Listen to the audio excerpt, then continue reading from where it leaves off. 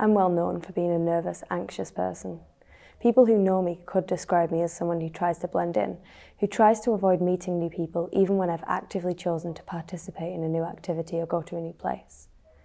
People who know me wouldn't expect me to get up in front of a camera and start this conversation, but I'm going to do it anyway. When I came to examine this anxiety within myself so that I could change it, I found that something more sinister lay at the heart of the problem. And to tell you about that, I'll have to tell you a story. In my first year of secondary school, I had my first ever humanities lesson.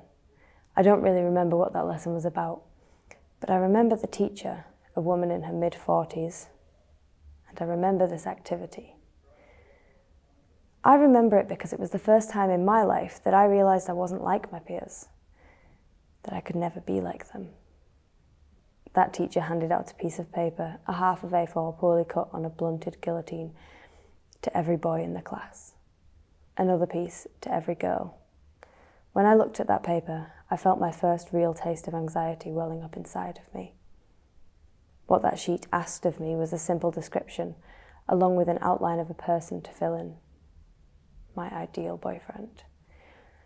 I could see that the sheet the I could see that the sheet the boy nearest to me had was different. His said, my ideal girlfriend. I'd never put much thought into attraction aged 11. I hadn't really needed to.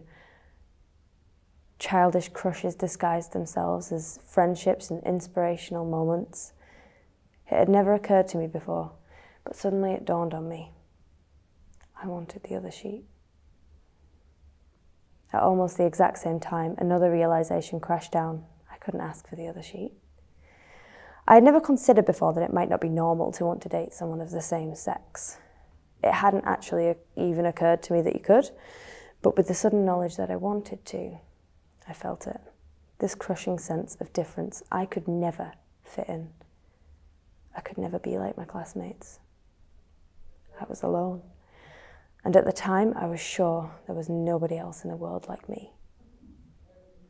This is a story I've never told to anyone, partially because objectively it seems so insignificant, but mostly because I didn't really want anyone to know this about me.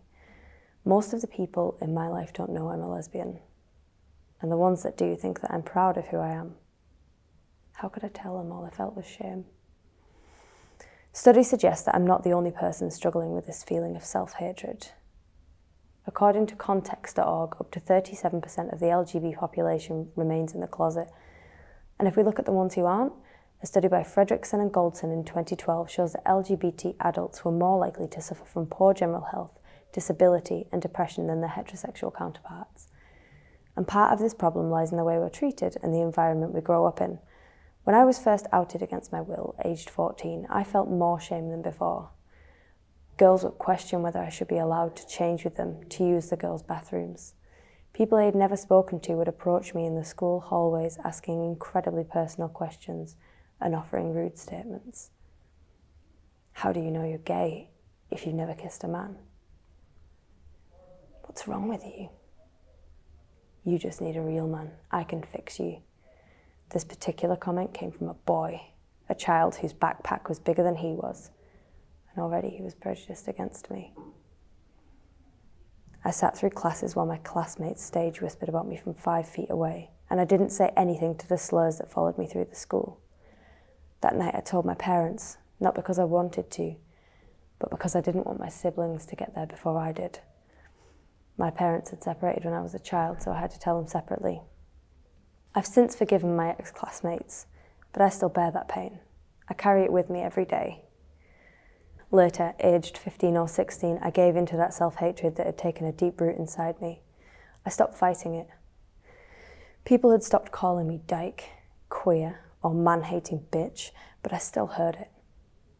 It was inside my head, the first thing I heard when I woke up, and the last thing on my mind at night. I started hurting myself, and sometimes I thought it would be better if I was dead. At this point, you're probably wondering why I'm telling you this. Well, if we agree that the way people treat us deeply affects our sense of self, we have to see that the other part of the problem lies in how we treat ourselves. It's not just LGBT plus individuals who experience this. I'm using my personal experience here as an example. I guarantee that at one point or another, you will have felt worthless, stupid. You will have berated yourself for something you couldn't help. You will have actively avoided telling someone something you wanted to say, and it's this that we can change. It isn't an easy change. The first step is forgiving yourself, which does sound counterintuitive. You don't need to forgive yourself for who you are, but for how you've treated yourself. Until you recognize that the attacks you put yourself under are wrong, you can't move past it. You feel like you deserve it. And to get through that, you have to forgive. For me, I'm still working on forgiving myself. Telling you this feels an awful lot like a confession, and I can already feel that self hatred creeping back in, trying to find itself a place to take root, to grow. But if step one is forgiveness, step two has to be acceptance. You have to learn to accept who you are. A lot of focus is put on tolerance these days, but tolerance reaches only so far. You cannot be authentic while you still don't accept yourself, which leads to step three learning to love yourself. I can feel you rolling your eyes. You'll have heard this a lot. Loving yourself is obviously easier said than done. But I promise you, it's attainable. You can get there. It will be hard at first, but worth it. Without love for yourself, you leave yourself open for that sensation of shame to creep back in. Without love for yourself, you can never be whole. Don't get me wrong, lying by omission isn't always bad. There are times when it's better to keep things to ourselves, when who we are or what we are keeping secret actively puts us at risk. Only you can decide if harbouring those secrets is worth the pain you're putting yourself through. Whether you decide to speak your truth or not, though, you must always remember that you are not evil. Who you are is not something you should have to hide. And most importantly, if you do decide to tell your truths and people react negatively, recognize that the problem is with them. Do not let their prejudice get inside your head and haunt you. Enough people are going to want to hurt you in this life. There's no point being one of them yourself.